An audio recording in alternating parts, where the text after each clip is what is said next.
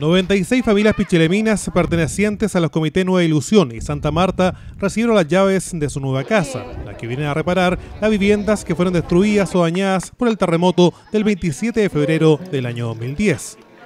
Las obras fueron ejecutadas por el Serviu durante el año 2014 y suman una inversión de 51.000 UF por parte del Ministerio de Vivienda y Urbanismo. Las viviendas tienen una superficie de 44 metros cuadrados con una construcción de albañilería reforzada y ladrillo cerámico. Además, cuentan con sala de estar y comedor, cocina, baño y dos dormitorios. Perder una vivienda por efecto del terremoto y posterior tsunami aquí en Pichilemu fue una historia muy dramática que tocó a muchas familias y tenemos la suerte de que en los últimos años eh, con la gestión de las distintas autoridades fue posible acceder a terrenos que pudiesen construirse.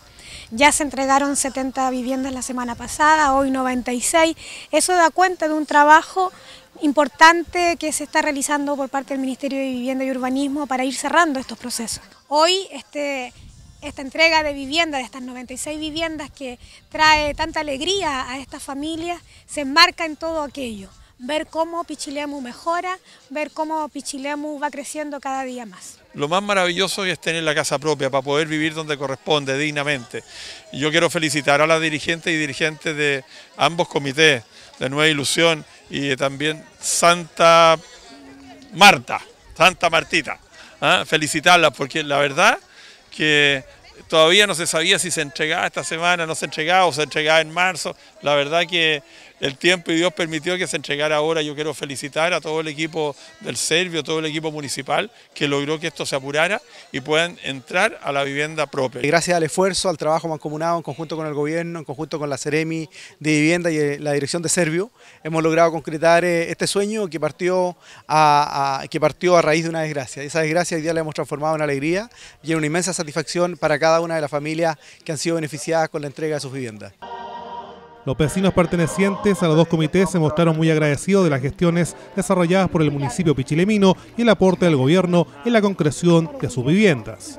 No, yo sentí mucha emoción, que ya no, no tenía ganas de hablar.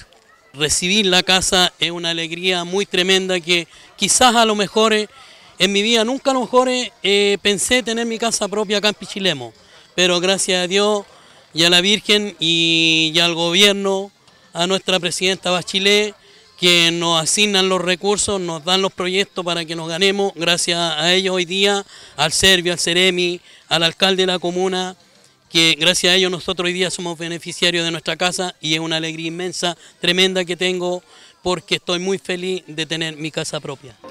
Una jornada especial que fue acompañada por el clima veraniego, que trajo nuevos aires y felicidad para este grupo de familias de Pichilemu.